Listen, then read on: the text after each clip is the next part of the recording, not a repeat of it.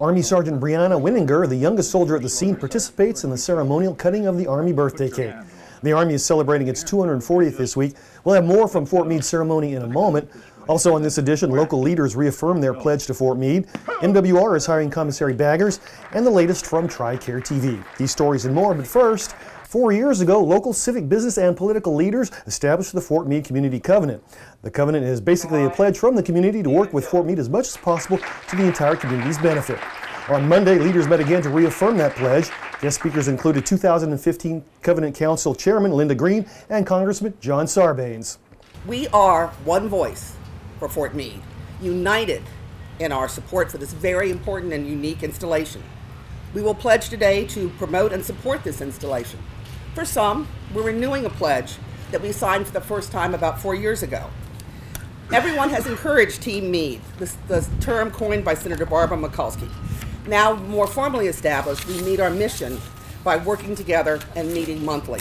For Fort Meade to continue successfully meeting and executing its 21st century mission, we must continue to develop 21st century partnerships mutually beneficial partnerships that allow us to gain maximum efficiency and productivity out of every available dollar and hour of time and resource that we have.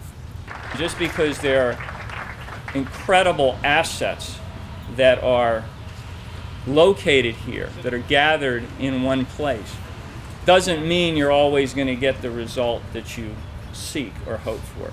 It takes people who are going to step up and put their shoulder to the wheel and work every single day uh, to keep a conversation going, to make sure that decisions are made um, in an open and engaged way, uh, and that bring in the full community. That's what this covenant has represented from the very uh, beginning, and that's what the council does uniquely in the country is to meet on a regular basis and process all of the information and input and expectation that comes from people on base and off base about what the true potential of Fort Meade and the surrounding community can be. In other news, the Army is celebrating its 240th birthday this week. Fort Meade's annual celebration, sponsored by the local chapter of AUSA, featured guest speaker Lieutenant Colonel Alfred Rascon, who received the Medal of Honor for his actions in 1966 in Vietnam.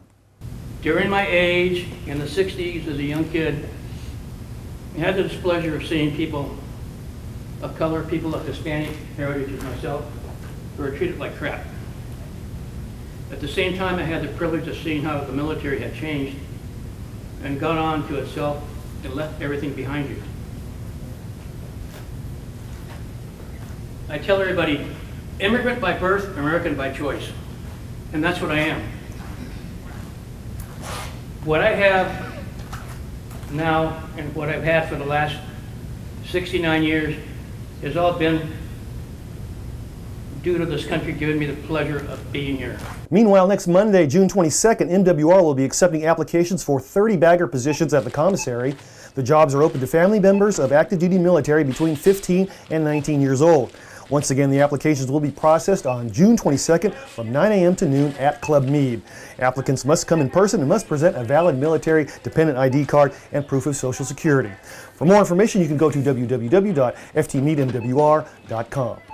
Another reminder from MWR, the Bowie Bay Sox at Orioles farm team is hosting Fort Meade night on Friday night, June 19th. The game starts at 6.35 p.m. with fireworks after the game. Tickets are free for active, retired, and civilian personnel. You can pick up your free tickets at Leisure Travel Services over on Wilson Street. One more note, tickets must be picked up in advance. None will be issued at the game. And finally on this edition, TRICARE TV offers this short primer on the Retiree Dental Care Program. Today we'll give you an overview of TRICARE's Retiree Dental Program, or TRDP. TRDP is a voluntary program for retirees, family members of retirees, Medal of Honor recipients, and survivors.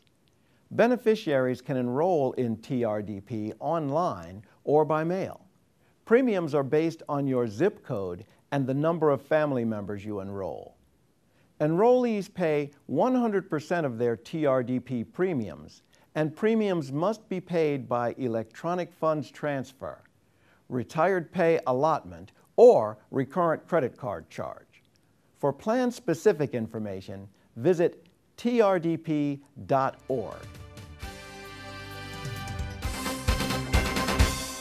And that's Meade Week for this week. I'm Brian Span. For everyone at Meade TV and the Fort Meade Public Affairs Office, have a great Meade Week.